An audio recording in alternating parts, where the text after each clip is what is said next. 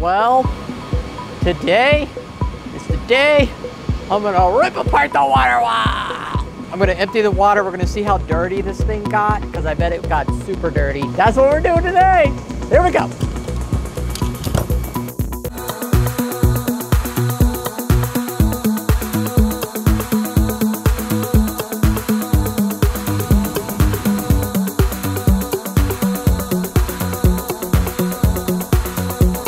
That's pretty dirty.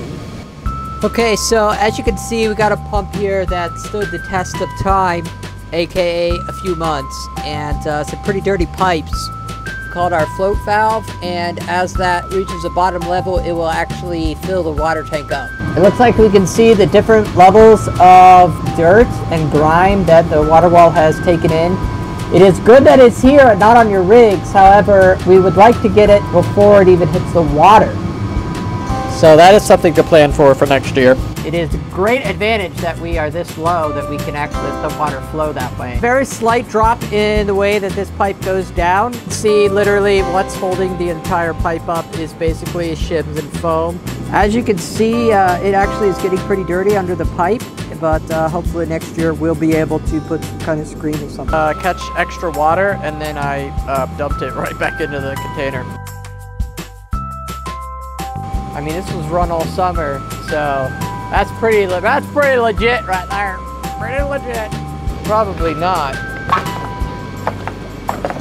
We're gonna take a sawzall and just go straight down. Pull these shims out of here.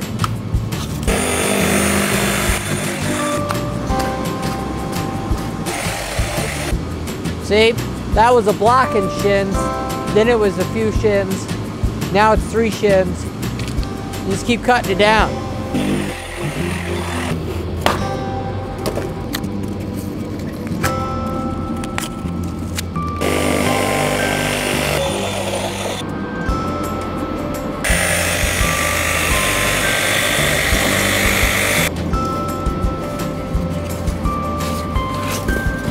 All right, that should be good.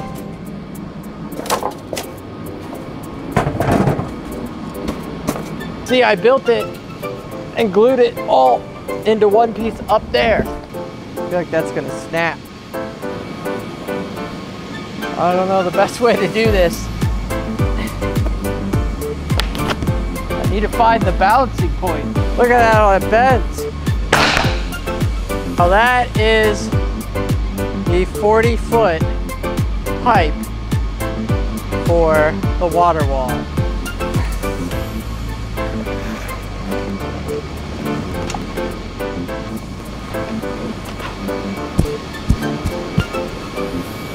That's awesome.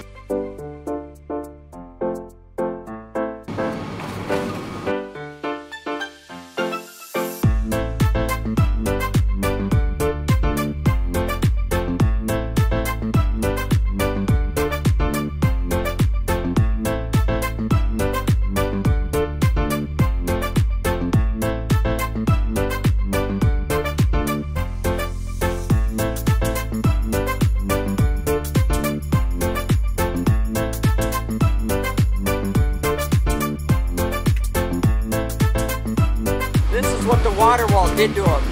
It absolutely just destroyed them. They're just ugly as all get out. Obviously, that's right where the wall, the six inches of, of the uh, foam was.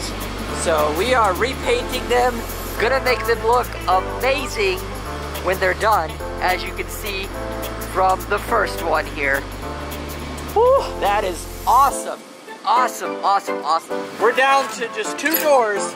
That's how all we need to keep this place nice and cool. Four inches there, you can see where the wall was before. We have the wall right there, and uh, this is where the air was going and then locking in and heading out towards the bunker. So right on the other side, oh, right on the other side of that is all the rigs. Look at that, you can go underneath the bunker. There's where the water was.